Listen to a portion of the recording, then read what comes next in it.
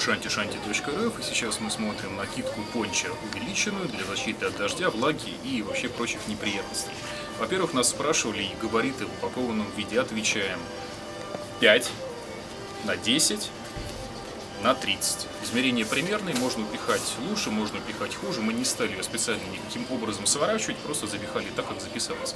Далее, смотрим вес.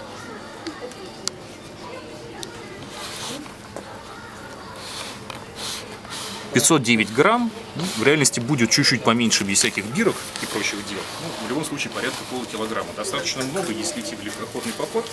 Если вы на машине или у вас обычное снаряжение, я думаю, что никакой существенной проблемы здесь не возникнет.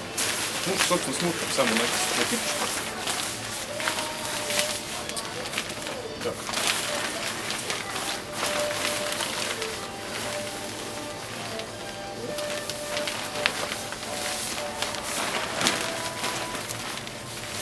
Да, в общем, это пончо, поэтому рукавов, как неудивительно, здесь нет. По размерам, напоминаю, что мой рост составляет примерно метр восемьдесят семь, габариты примерно 52-54 размер, примерно 95-100 килограмм веса. Она меня достаточно неплохо закрывает спереди. Попробуем одеть капюшон. В капюшоне вот здесь есть жесткая вставочка, поэтому он не лезет на глаза. Существует возможность его утянуть. Утяжка одна. Нужно сказать, что у пончи есть такое преимущество, как вентиляция. В отличие от э, полных ветровлагозащитных проклеенных костюмов, у нас есть все-таки приток воздуха снизу какой-никакой, какой-никакой отток сверху. Поэтому в ней несколько менее потливо. И что еще? У нее есть застежечки. Вот давайте мы сейчас попробуем их применить. Они идут с одной стороны и с другой. Соответственно,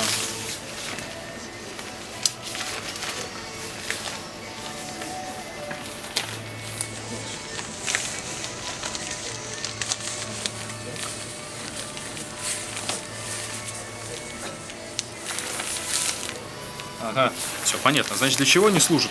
Мы можем застегнуться вот так вот. И нас тогда не будет задувать, например, сбоку. А, я не уверен, что это сильно очень актуально. Если это важно, пишите нам, пожалуйста, в комментариях. Если вы ходите на рыбалку, например, почему-то предпочитаете использовать пончо и любите, чтобы вас не задувало. А, в моем опыте использования пончо мне никогда не приходилось его застегивать.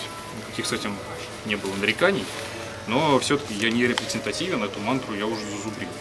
Если застегнуть, получается вот так вот, вырисовывается некое подобие рукава, соответственно, пончо уже не пытается никуда убежать. Шанти Шанти РФ, если было полезно, ставьте нам лайки, если есть какие-то замечания, предложения или пожелания, пишите снизу на YouTube в комментариях. Пончо увеличенная, проклеенная, толстая, надежная, ткань хорошая. А, существует также версия маскировочная, если вы хотите слиться с окружающим пейзажем. В общем-то, мне кажется, штука для рыбалки в осенне-весенний период Eso me toca.